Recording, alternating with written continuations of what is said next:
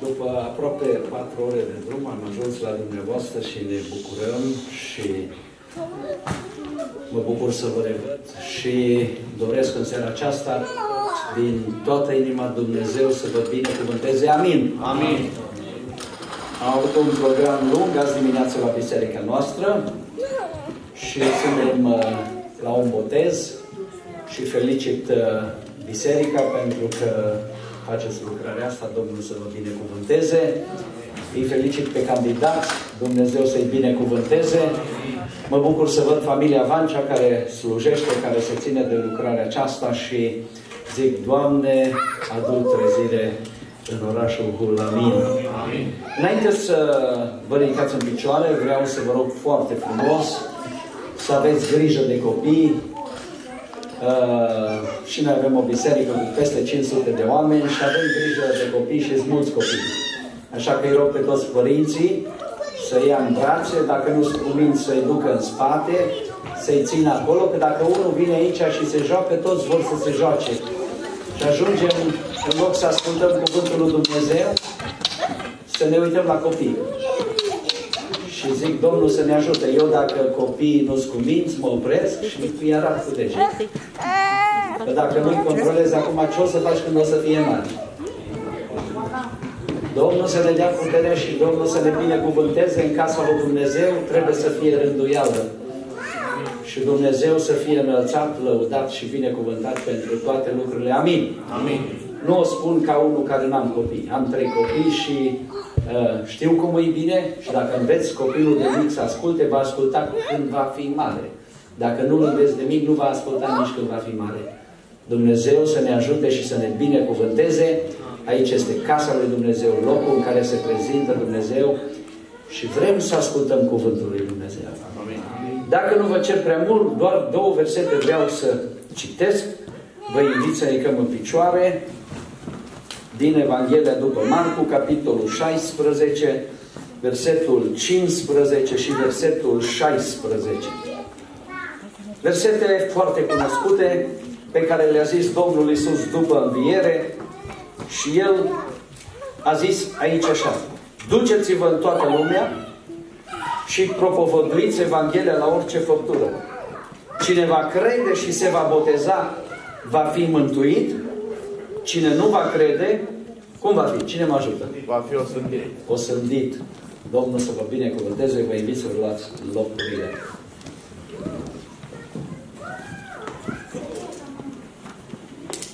Am intitulat mesajul din această zi Gânduri frumoase cu ocazia botezului în apă. Încă o dată îi felicit pe cei doi candidați.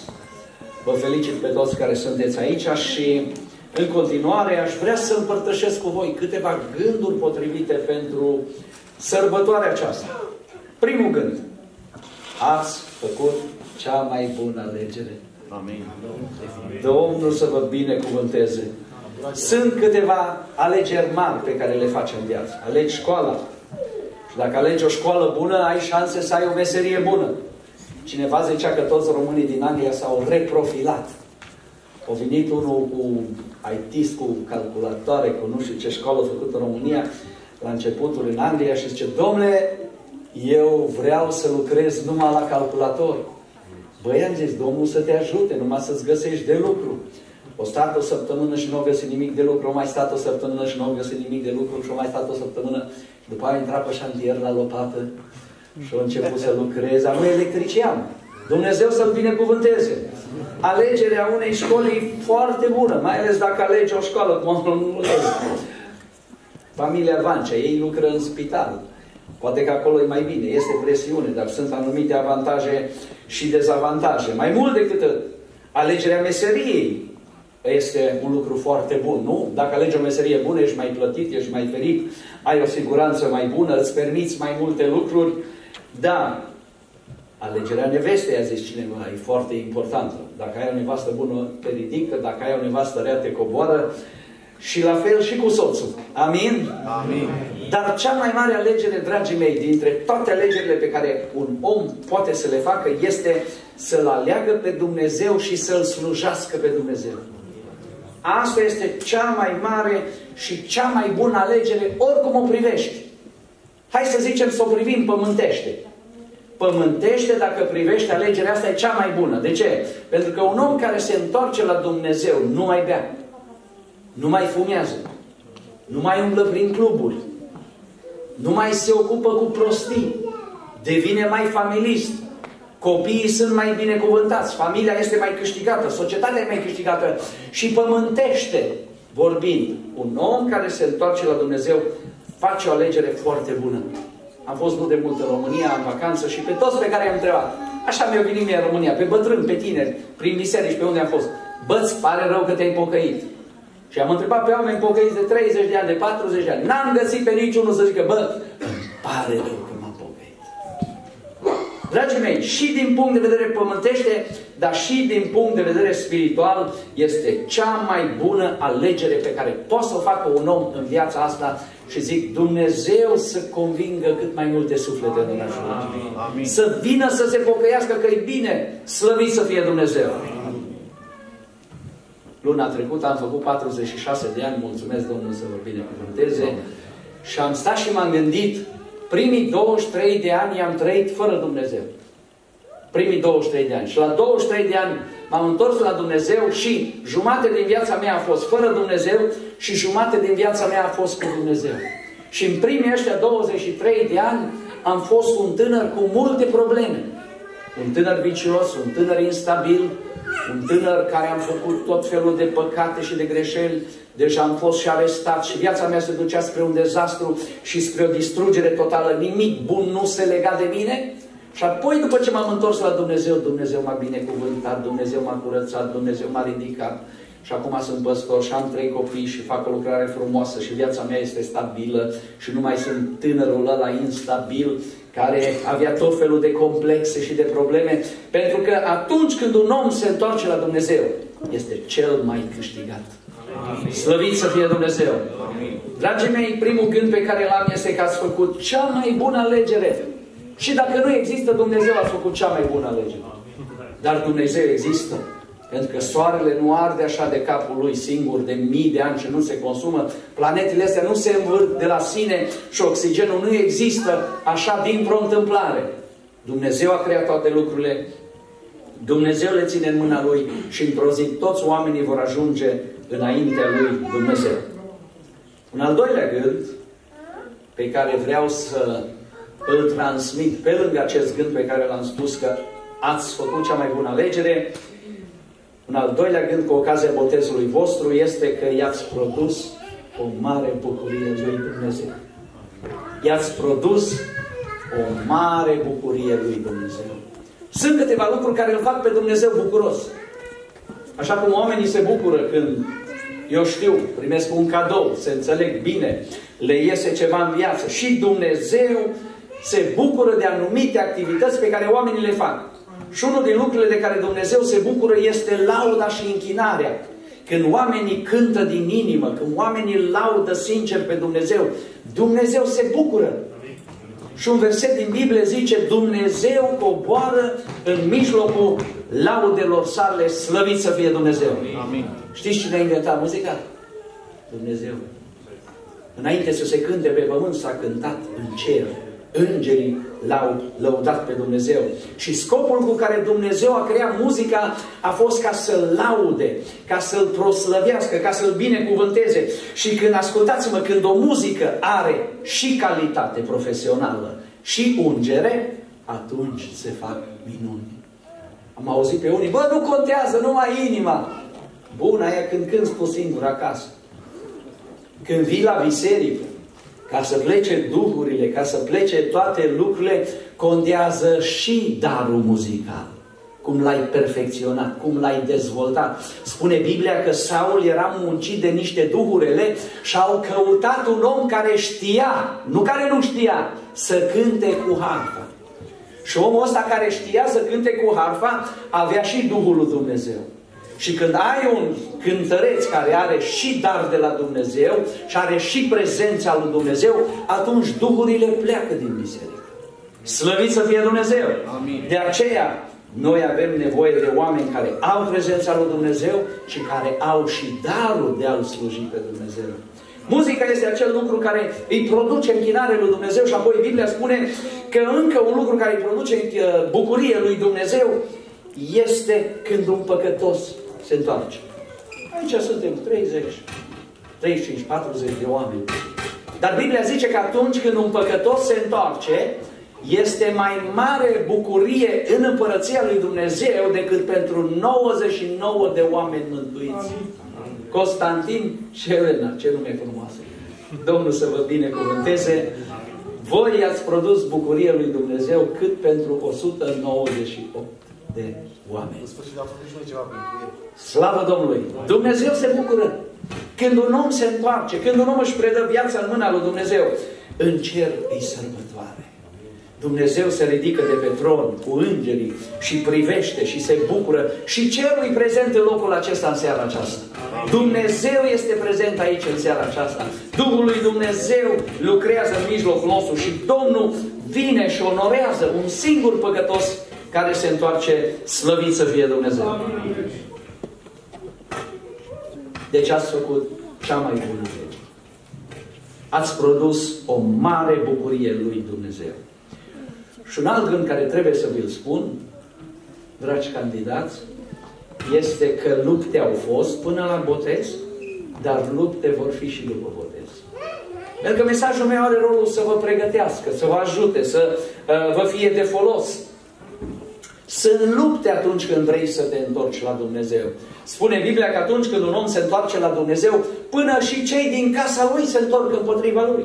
Și sunt tot felul de lupte atunci când un om vrea să se întoarcă la Dumnezeu. Mi-aduc aminte, eu eram în Austria acum 23 de ani, uh, la negru, fără viză, cu greu am ajuns acolo, fiind un copil sărac, am vrut să fac un viitor. Greu prindeai un loc de muncă atunci, foarte greu. Mai ales la negru. Și după ce m-am hotărât să mă pocăiesc, am fost dat afară de la locul de muncă. După ce m-am hotărât să mă pocăiesc, aveam niște haine bune de biserică și ca niciodată când le-am băgat în mașina de spălat, nu știu ce am încurcat acolo, că a ieșit altă culoare toate haine. Și au fost lupte. Și așa e, când vrei să faci voia lui Dumnezeu, vine tot iadul împotriva ta. Dar lupte vor fi și după botez.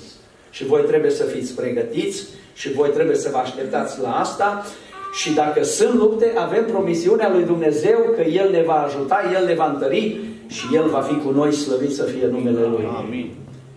Cu cine avem lupte? În primul rând avem lupte cu diavolul. El are trebuință și el are treabă cu cei care vor să facă voia lui Dumnezeu. Pe diavol nu-l interesează la care e în birt, ăla care e drogat, ăla care e posedat, ăla care e stăpânit. Pe diavolul îl interesează omul care vrea să facă voia lui Dumnezeu. Pe ăla îl interesează diavolul. Și cu ăla are treabă diavolul. Am observat și în familia mea, înainte să merg la biserică, înainte să vină o zi de duminică, înainte să te duci în lucrare, apar tot felul de tensiuni, nu găsești, nu te înțelegi, tot felul de stresuri. Sunt atacuri spirituale. Și diavolul are treabă cu cei care vor să fie credincioși. Și voi acum când vă botezați, de acum încolo, diavolul o să vină să vă ispitească, dar Biblia zice, împotriviți-vă tare diavolului și ce va face diavolul? Dar de ce va pleca de la voi? Cine știe? Îi dau 10 lire. Avem autoritate. Dumnezeu e mai tare. Nu? Nu. Voi ziceți ce vreți, eu am răspunsul care eu îl vreau. Atunci spune, frate. Vă spun de ce. Pentru că diavolul nu e omniprezent. În Apocalipsa zice, tu locuiești acolo unde este scaunul de domnie al satanei. Adică diavolul nu poate să fie peste tot. Numai Dumnezeu poate să fie peste tot. Și dacă diavolul vede, bă, tu reziști o zi la ispită, reziști a doua zi la ispită, reziști a treia zi la ispită, zice, bă, cu asta îmi pierd vremea. Mă duc la altul. Și diavolul pleacă de la noi. De aceea trebuie să ne împotrivim tare și să ne rugăm și să postim și să cerem putere de la Dumnezeu și apoi diavolul, ca să nu falimenteze, pleacă la alții. Vom avea de luptă cu diavolul. Apoi, mai mult decât atât, un alt factor cu care vom avea de luptat, dragi candidați la botez, este firea noastră pământească. Firea noastră pământească.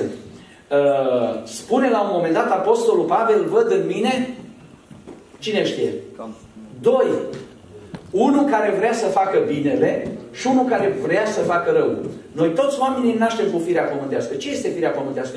Este omul nostru căzut în păcat, pe care l-am moștenit de la Adam. Și în fiecare om sunt aceste două legi. Legea lui Dumnezeu, dacă citești Biblia, vii la biserică, te ții de Dumnezeu, îți vin gândurile alea duhovnicești, care sunt legea lui Dumnezeu și este legea firii noastre, care ne face să fim egoiști, să fim răi, să fim delăsători, să vrem să facem rău și tot felul de lucruri. Și va fi această luptă în viața voastră în fiecare zi între a face voia lui Dumnezeu și a face voia firii pământești. Și citea fratele Adrian astăzi din Luca capitolul 9 cu 23 dacă voiește cineva să vină după mine, care e primul lucru care se începe? Cine știe? Să se lepede de sine, adică să fie mai important Dumnezeu decât nevoile și pretențiile pe care le are. Și apoi, la treilea dușman cu care vom avea de luptat, pe lângă diavolul, pe lângă firea pământească, va fi lumea fără Dumnezeu. Adică oamenii care nu-L cunosc pe Dumnezeu, oamenii care nu-L au pe Dumnezeu, ei au un sistem de valori care n-aparține lui Dumnezeu. Și ei, acești oameni, vor veni și vor zice, Constantin, hai să mergem acolo, hai să facem cu tare lucru și cu tare lucru, hai să ne întoarcem. Elena, ei vor veni, vechile prietene, vechi prieteni, vechile lucruri. Și atunci tu va trebui ca și credincios să zici, eu nu pot să fac treaba asta pentru că eu vreau să fac voia lui Dumnezeu. Amin. Am auzit despre un mare bețivan dintr-un sat care o bătea pe nevastă sa și în avans ca să fie sigur pe când vine că va fi cu minte. Și bețivanul ăsta, într-o zi, o confundat biserica cu bufetul. Și a ajuns în biserică și a auzit cuvântul lui Dumnezeu și s-a pocăit și s-a întors la Dumnezeu și venea acasă și era liniștit și nu mai bătea și nu mai era rău și după câteva luni nu i-a plăcut la femeia asta. Mă, mă, ai nebunit, mă, ți-ai pierdut mintea, mă. Mai tare m-a plăcut de tine înainte, o să zic. Sunt oameni, dragii mei, care vor veni cu tot felul de influențe. Și Biblia zice, și lumea și pofta ei trece, dar cine face voia lui Dumnezeu rămâne în viață. Amin. Nu mergem la discotecă. Nu mergem la furat. Nu mergem în lucrurile rele. Nu facem ce face lumea. Pentru că Dumnezeu ne vede și Dumnezeu este deasupra și noi vrem să facem ce vrea Dumnezeu. De aia le-am zis la mulți, bă, dacă tu te-ai lăsat de fumat și te-ai pocăit proaspăt și stai într-o casă cu fumători, ăștia o să fie o ispită pentru tine. Separă-te până te întărești, până trec câțiva ani de pocăință, până așa, ca să nu caz în cursă. Ce legătură este între lumină și întuneric? Nicio legătură. Dumnezeu să vă întărească. Dumnezeu să vă binecuvânteze și Dumnezeu să lucreze în viața voastră și a noastră a tuturor. Amin. Amin. Lupte vor fi și vom avea de luptat toată viața până vine Domnul sau până vom merge noi la El. Amin. Amin. Dar mai vreau să vă zic ceva. Foarte important. Să mai adaug ceva în această listă a gândurilor bune și frumoase cu ocazia botezului vostru și vreau să vă zic câteva lucruri cheie care vă vor ajuta să rămâneți lângă Dumnezeu. Sunt câteva lucruri, dragii mei, care ne ajută pe noi ca și credincioși să rămânem pe cale, să nu cădem, să rămânem cu Dumnezeu, să fim credincioși, să nu slăbim spiritual, să fim totdeauna aproape de El. Și vreau să zic, Constantin, și vreau să spun Elena, chiar le-a zis și voi deja prin mărturile voastre, că sunt câteva lucruri importante de care va trebui să ținem cont ca să putem să ducem mântuirea până la capăt. În primul rând, participarea la biserică. Participarea la biserică este un lucru care te ajută să te întărești, să te ridici, să fii mai puternic, să rămâi mai aproape de Dumnezeu. Spune că la un moment dat un membru s-a supărat și nu mai vrut să vină la biserică. Și nu mai vrut nici să vorbească cu nimeni. Și s-a dus păstorul să-l viziteze. Și a intrat la el în casă și ăsta stătea lângă un șemineu, în fața unui foc, Păstorul l-a salutat, ăsta nu a zis nimica și atunci păstorul, inspirat de Duhul Sfânt, în timp ce ăsta stătea în fața la șemineu cu foc, o scos un cărbune de acolo din șemineu și l-a pus jos pe grătar. Cărbunele a ars câtva timp, după care s-a stins, pe când focul ardea în continuare. Și atunci păstorul i-a zis, uite, așa este și cu viața ta. Când ești un cărbune izolat, când ești un lemn singur, te stingi mai repede. Dar atunci când stai împreună cu frații, când stai împreună cu trupul lui Hristos, când vii în casa lui Dumnezeu, focul e mai mare, puterea e mai bună și lucrarea lui Dumnezeu este mai desăvârșită. Slăvit să fie Dumnezeu! Amin. Biblia spune că Domnul Isus în ziua de sabat, după care e cuvântul? Obiceiul său intra în sinagogă. Domnul Isus avea acest obicei și noi pocăiții trebuie să avem obiceiul de a veni la biserică regulat toată viața noastră. Amin. Îmi place cum încheie Psalmul 23 David și aș vrea să locuiesc în casa Domnului până la sfârșitul zilelor mele, ca să mă bucur și să văd frumusețea Domnului. Să venim la casa lui Dumnezeu în vremurile acestea. Să punem preț pe locul pe care îl pune preț Dumnezeu. Dumnezeu să ne ajute. Apoi, dragii mei, tot voi ați zis, sora Elena a zis, am ascultat mărturia, citirea Bibliei. Așa cum uh, spuneai și de musulmani că citesc o carte și tu, Constantin, și noi va trebui să avem grijă să citim Biblia în mod regulat.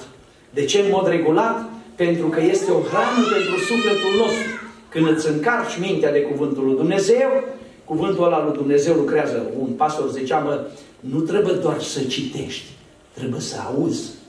Că dacă doar citești mecanic, atunci nu rămâne nimic te pui și când citești, încearcă să auzi ce vorbește Dumnezeu și atunci când auzi din fiecare capitol care îl citești, gândurile pe care Dumnezeu le are pentru tine și mergi la lucru cu gândurile alea, gândurile alea te ajută toată ziua. Și citirea Scripturii trebuie să devină o practică zilnică a vieții noastre și zic Dumnezeu să ne ajute și să ne binecuvânteze. Amin. Amin. Strâng cuvântul tău în inima mea ca să nu păcătuiesc împotriva ta. Cuvântul tău este o candelă pentru picioarele mele și o lumină pe cărarea mea. Și credința vine în urma auzirii cuvântului lui Dumnezeu. Să citim Scriptura. Eu pe mulți așa cu anxietăți, cu depresie. Eu cred că ăștia nu citesc regulat Scriptura. Că Scriptura are peste 5.000 de promisiuni. Și nu are numai 1600 de porunci. Și dacă te încarci de promisiunile lui Dumnezeu în mod regulat, eu cred că promisiunile astea lui Dumnezeu au putere să te vindece și de anxietate, și de panică, și de depresie. Pentru că ce este uh, panica, anxietatea și depresia? Este un rod al fricii. Și când te încarci de credință, atunci frica dispare. Amin. Dumnezeu să ne ajute și Dumnezeu să ne binecuvânteze. Amin. Amin. Apoi, pe lângă participarea regulată la biserică, pe lângă citirea Bibliei, trebuie să adăugăm rugăciunea. Spune Biblia că Domnul Isus era în grădina Ghețiman și a ajuns într-o încercare ca și de moarte și ce a făcut când i-a fost foarte greu? Cine știe? S-a rugat. S-a rugat. Nici nu a cântat, nici nu a sunat un prieten, nici nu a căutat pe Google, bă, ce să fac dacă am problema asta, ci s-a pus și s-a rugat. Și când s-a rugat, s-a coborât un înger din cer care l-a întărit și care l-a binecuvântat. Și am să mai zic și treaba asta, pentru că timpul este înaintat, am zis-o și azi dimineață, Problema rugăciunilor noastre este că sunt formale. M-ați auzit? Sunt formale. Știți ce a zis Domnul Isus? Să nu borbolosiți aceleași cuvinte cum au păgânii. Ce înseamnă asta? Să nu te rogi cu cuvinte învățate. Am auzit în bisericile noastre formula asta. Dumnezeul lui Avram, Dumnezeul lui Isaac, Dumnezeul lui Iosif. Mă sună un frate la un moment dat și zice, fratele păstor Tiberiu, oh? Da, frate, spune, te ascult. Am avut impresia că vorbesc cu Moise sau cu noi sau cu Ilie. Știți, noi avem așa niște formule, stereotip, pe care le-am învățat pe parcurs. Și rugăciunile noastre de multe ori devin formale. Cum vine asta? Hai să zic. Ce te-ai rugat ieri dimineață? Dacă te-ai rugat.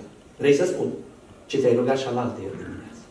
Și ce te-ai rugat alaltă ieri dimineața? Ce te-ai rugat și înainte de alaltă ieri dimineața.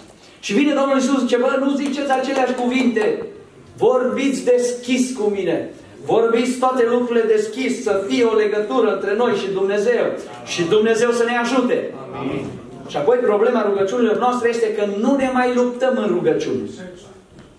O zis unul, bă, dar ce strigați voi acolo așa tare la pocăiți? Dar Dumnezeu nu-i surd. Dar eu zic, dacă ți de casa și nevasta doarme, mergi în șoaptă și zici, draga mea, hai să ieșim și noi din casă. Sau dacă șeful îți mărește salariul și vii acasă, draga mea, uite, șeful meu a mărit salariul. Nu, lucrurile importante le zici cu voce tare. Și Biblia zice, când strigă un nenorocit, Domnul aude și îl scapă din toate necazurile lui, slăvit să fie Dumnezeu. Noi trebuie să ne rugăm cu putere și cu insistență. Ascultați-mă, vine fratele lui Iacov cu 400 de soldați. Frate pe care nu l-a văzut de mai bine de 10 ani. Care i-a promis că îl va omorâ. Și când vine cu 400 de soldați, ăsta își trimite familiile înainte, pe grupe, și el rămâne ultimul. Și noaptea aia se întâlnește cu Dumnezeu. Nu știu cum a fost. A fost un înger care îl întruchipa pe Dumnezeu. A fost Dumnezeu în forma unui om. Și el știa. Și îl prinde pe omul acesta, care îl personifica pe Dumnezeu, și nu-l lasă. Și se ține de el toată noaptea. Și Dumnezeu îi zice, lasă-mă că trebuie să plec. Și el nu. Toată noaptea se luptă și insistă și îl ține și zice, nu te las să pleci până nu mă binecuvântez. Amin. Când o să te rogi așa, Dumnezeu va face minuni în familia ta. Dumnezeu va face minuni în casa ta la problemele tale. Când o să stai pe genunchi și o să zic, nu te las, Doamne, până nu lucrezi la cauza mea, la problemele mele. Când ne vom lupta în rugăciune, atunci vom vedea semne și minuni. Slăvit să fie Dumnezeu. De aia trebuie stăruință, pentru că e o luptă. Și când Dumnezeu vrea să-ți dea ceva, diavolul vrea să împiedice binecuvântarea pe care Domnul vrea să ți-o dea ca să nu te întărești așa de tare spiritual. Și de aia trebuie să ne luptăm și să ne facem partea și zic Dumnezeu să ne binecuvânteze. Amin. Amin. Tot aici, în lista aceasta a lucrurilor care te vor ajuta să rămâi lângă Dumnezeu, pe lângă biserică, pe lângă citirea Bibliei, pe lângă rugăciune, slujește-L pe Dumnezeu. Amin. Acum dacă v-ați pocăit și v-ați botezat, ei trebuie să vă dea de lucru. Că dacă sunteți la început, sunt multe sectoare care sunt mai ușoare. Și dacă voi vă veți implica și vă veți ține regulat de biserică și veți sluji, slujirea asta o să vă facă mai pocăiți. Slujirea asta o să vă țină mai aproape de Dumnezeu. Slujirea asta o să vă facă să fiți disciplinați cu Dumnezeu, pentru că veți avea niște obligații în biserică și o să trăiască să veniți să le faceți și asta o să vă țină disciplinați. O învățătoare care pregătește lecția la școala duminicală înainte ca să vorbească copiilor, Dumnezeu îi vorbește ei prin lecția aia. Un predicator care are o predică înainte să vină să predice, înainte Dumnezeu îi vorbește lui prin predicare. Un om care dă un îndemn trebuie să răsfoiască, să se roage, să citească și orice slujire pe care o facem ne ține lângă Dumnezeu. Slăvit să fie numele Lui. Slujiți-L pe Dumnezeu și asta o să vă păstreze lângă Dumnezeu. Și mai adaug una. Asta e cea mai tare. Feriți-vă de cârcotași. În bisericile noastre, în vremurile astea în care trăim, sunt tare mulți cârcotași. Și zicea cineva că 30% din ăștia de pe internet sunt contra. Oameni frustrați care n-au reușit nimic în viață, nimic nu-i bună. Și este așa o ură în ziua de azi împotriva preoților, împotriva păstorilor, împotriva bisericilor, împotriva tot ce este spiritual. Și dacă vreți să rămâneți lângă Dumnezeu și să fiți credincioși și să n-alunecați, feriți-vă de cârcotași. De oamenii ăștia care aia nu-i bună, aia nu mere bine, cealaltă nu-i bine. Auzi ce zice Tit. Tit, capitolul 3, cu versetul 10, zice așa. După întâia și a doua mustrare, îndepărtează-te de cel ce aduce dezbinări. Că știm că un astfel de om este stricat și păcătește de la sine, fiind osândit. Dacă voi v-ați pocăit, biserica trebuie să o vedeți așa cum o vede Dumnezeu. Când Dumnezeu se uită la biserică, o vede ca o mireasă îmbrăcată într-o haină albă, deși nu e așa. Dar așa o vede Dumnezeu. Și atunci mai sunt oameni din ăștia care poate nu au reușit să predice, nu au reușit să cânte, nu li s-a dat cum o vrei și vor începe. Că aia nu bună, că cea nu bună. Și așa se slăbește lucrarea lui Dumnezeu. Și dacă umbli cu cinci înțelepți, tu ești al șaselea. Dacă umbli cu cinci bârfitori, tu ești al șaselea.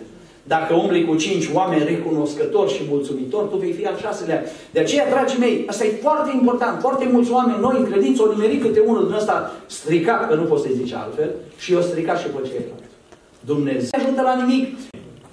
Și mai adaug un gând, ca să fie lista completă, am vorbit despre faptul că trebuie să întâmpinăm probleme și să fim pregătiți. Am vorbit de faptul că e o mare bucurie, am vorbit de faptul că e o mare alegere, că sunt câteva lucruri care ne ajută și în ultimul rând, dragii mei, un ultim gând pe care vreau să îl aduc înaintea dumneavoastră, în special candidaților și nouă tuturor, dragii mei, este că trebuie să știți că biserica nu este perfectă. Eu când m-am întors la Dumnezeu, dragii mei, în urmă cu 23 de ani, am văzut pe frați ca pe niște îngeri. Așa i-am văzut. Ca pe îngerii lui Dumnezeu. Și după un an de zile, după ce am mai avansat în cele sfinte, am început să văd defecte. Bă, uite, aia nu-i bună, cealaltă nu-i bună. Și am devenit un fel din ăsta de reformator nemulțumit. Și eram student în Oradea la teologie și eu cu încă un coleg de clasă ieșeam așa la o cafea în oraș și începeam și judecam toate bisericile. Și toți păstorii. Și luam și tocam așa. Praful. Nici unul nu era bun. Nici unul nu se califica. Bă, dar după ce vorbeam așa o oră, două, mă durea burta de fiecare dată. Și apoi de fiecare dată veneau și probleme peste mine. Și mi-a trebuit ani de zile până am înțeles că e foarte greșit ce făceam. Că nu-i bine.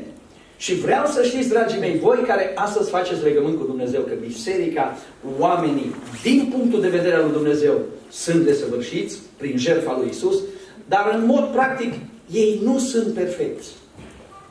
Și asta nu e o problemă. Pentru că modelul nostru este Domnul Isus Hristos.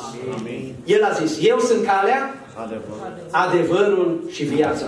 Și când vom ajunge la Dumnezeu, Dumnezeu nu o să zică, cum a fost fratele Vancea?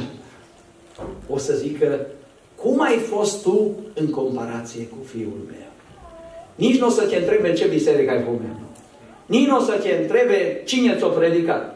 Nu o să te întrebe nimic din asta. Dumnezeu o să te întrebe cum ai fost tu. Și mântuirea este personală și foarte important, dragii mei, să știți treaba asta, pentru că modelul nostru trebuie să fie întotdeauna Domnul Isus Hristos. Amin.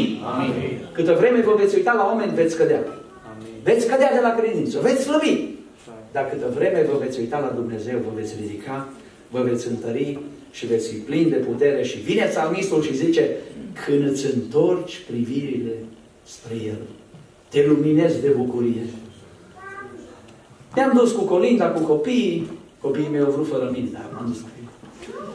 Și am ajuns la o soră în casă la care soțul e pocăit, dar nu mai vine la biserică, nu mai are treabă cu bovența, dar boteza, nu știu ce.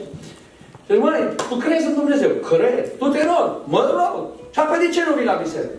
Apoi n-ai văzut că ăla e așa, ăla e așa, ăla e așa, ăla e așa. Măi, zic, dar tu unde ți-ai făcut uh, nunta? În biserică. Și botezul în biserică. Și apoi de ce vorbești așa în biserică? Că modelul tău nu este X, nu este Y, modelul tău este Isus Hristos, Fiul lui Dumnezeu. Amin. Și voi trebuie să vă focusați pe El și să înțelegeți că mântuirea e personală, pentru că faptul că ne uităm la oameni e o cursă pentru sufletul nostru, pentru viața noastră. Și mai zic ceva. Uneori nici nu-i de vină biserica. Uneori biserica merge bine și sunt oameni care tot se potignesc. Spune Biblia că Iuda l-a avut pe cel mai bun învățător, pe Domnul Isus. Și tot nu a reușit în mântuire. Dragii mei, mântuirea e personală, biserica nu e perfectă și noi trebuie să privim la Dumnezeu. Amin. Domnul să-l ajute pe Constantin, Domnul să ajute pe Elena și Dumnezeu să ne binecuvânteze pe noi toți. Amin. Amin. Cinci gânduri care mi le-am notat săptămâna asta pentru voi. Ca să vă fie de folos, ca să vă ajute, ca să vă dea un start, mai ales că se și înregistrează. Puteți să reveniți la ele, pentru că Dumnezeu vrea să aveți biruință. Amin. Dumnezeu vrea să mereți din putere în putere, Dumnezeu vrea să creșteți, Dumnezeu vrea să-L slujiți și Dumnezeu vrea să vă ducă într-o zi în slavă. Amin. Spune la un moment dat Apostolul Pavel, de cazurile din viața aceasta nu sunt vrednice să fie puse alături de slava viitoare. Și care e slava viitoare? Ce ne așteaptă pe noi dacă îl slujim pe Dumnezeu dincolo? În primul rând, ne așteaptă un trup de slavă. Spune Filipeni, capitolul 3, cu versetul 21, că El va schimba trupul stării noastre sperite și îl va face asemenea trupului slavei sale. Dacă ai o bolă în corp, dacă te lupți cu ceva, dacă îmbătrânești, este o veste bună. Dumnezeu pregătește pentru tine un trup de slavă. În împărăția Lui, un trup care nu se va mai îmbolnăvi niciodată și care nu va îmbătrâni niciodată slăvit să fie Dumnezeu. Amin. Apoi, Biblia spune că Dumnezeu pregătește un cer nou și un pământ nou. Pământul ăsta se va autodistruge la un moment dat. Și pământul cu tot ce este pe el, spune Biblia, că va arde. Și dacă nu-l arde Dumnezeu, îl arde noi în curând cu tot ce există în lumea asta. Și Dumnezeu va face un cer nou și un pământ nou. Și acolo nu vor mai fi diferențe între oameni, acolo nu vor mai fi război, acolo nu vor mai fi nedreptăți, acolo va fi o pace, o liniște, o bucurie și lucruri extraordinare pe care le pregătește Dumnezeu. Și știți ce va mai fi acolo? Vom locui totdeauna în prezența lui Dumnezeu. Amin. Bă, cum e să locuiești totdeauna în prezența lui Dumnezeu?